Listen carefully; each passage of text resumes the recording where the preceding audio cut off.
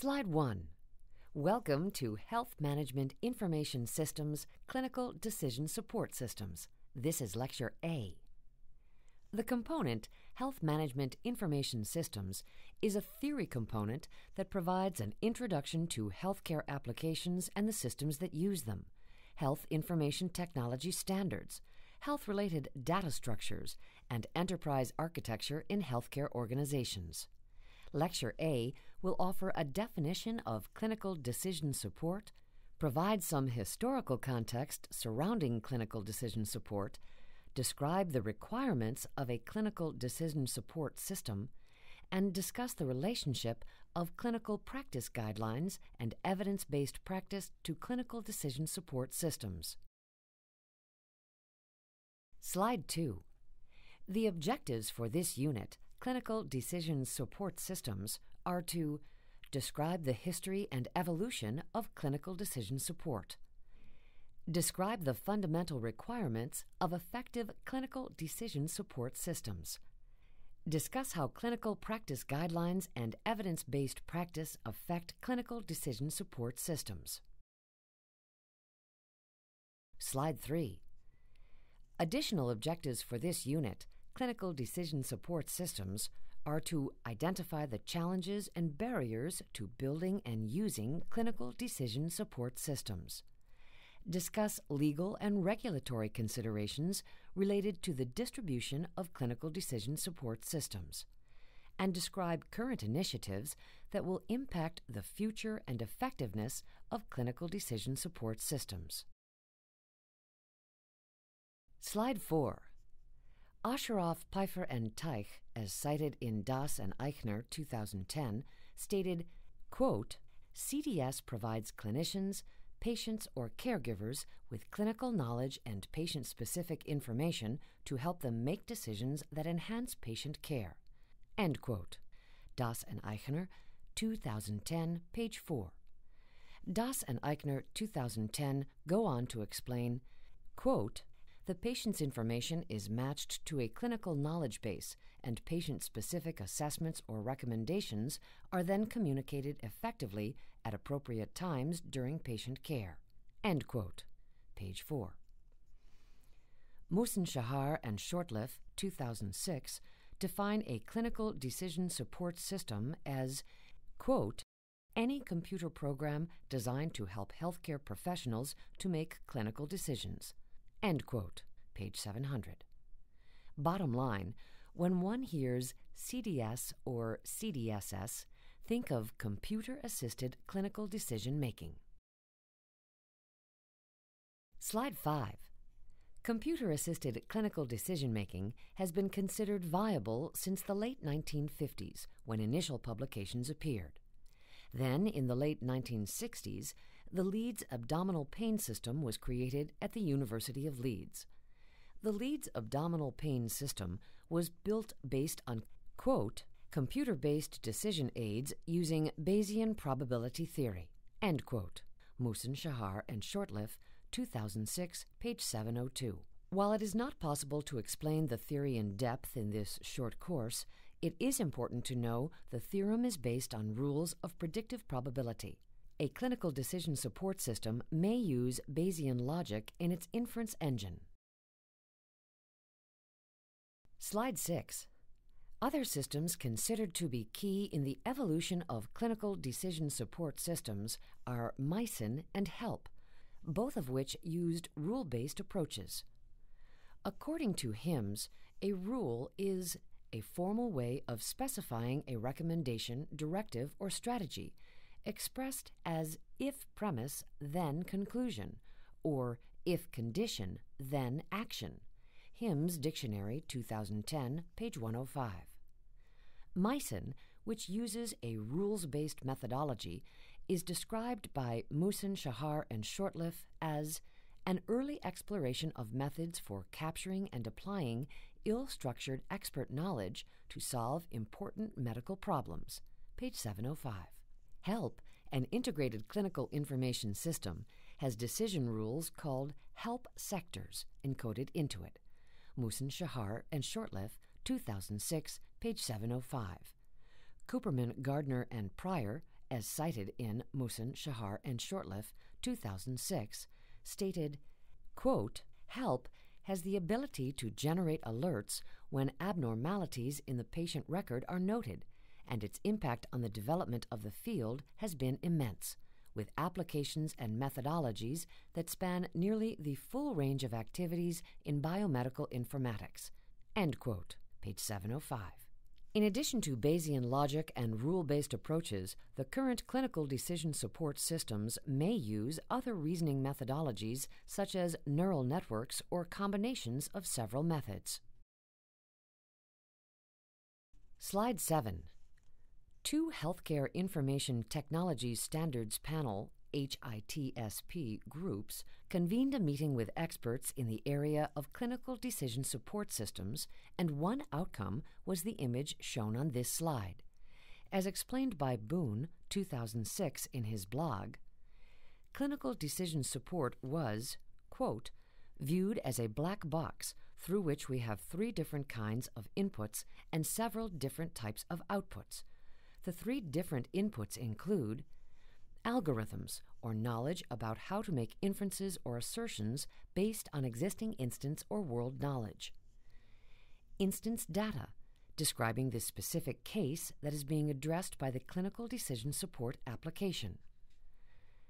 Ontological or world knowledge, representing facts about the world, such as what drugs interact badly, or how body parts are related, or the relationships between genes and diseases. End quote, paragraph 13. The output of information, actions, and alerts is characterized by symbols shown coming from the black box representing clinical decision support. This image of a model is representative of the components of clinical decision support. Slide 8. As the previous slide showed, a model of a clinical decision support involves certain inputs in order to arrive at an output. Berner, 2009, explains the system requirements in the following way Quote, Common features of CDS systems that are designed to provide patient specific guidance include the knowledge base, for example, compiled clinical information on diagnoses, drug interactions, and guidelines, a program for combining that knowledge with patient specific information, and a communication mechanism, in other words, a way of entering patient data, or importing it from the EMR, into the CDS application and providing relevant information, for example, lists of possible diagnoses, drug interaction alerts, or preventive care reminders, back to the clinician. End quote. Page 5. Each component provides a piece that is important for clinical decision support interventions to occur. For example, clinical decision support could provide suggestions for possible diagnoses, knowledge base that match a patient's signs and symptoms, inference engine, and communicate this to the provider through a ranked list of diagnoses that might explain the patient's signs and symptoms, communication mechanism. Slide 9. The first system requirement is the knowledge base. A knowledge base is just what you would expect it to be that is, an automated representation of clinical knowledge.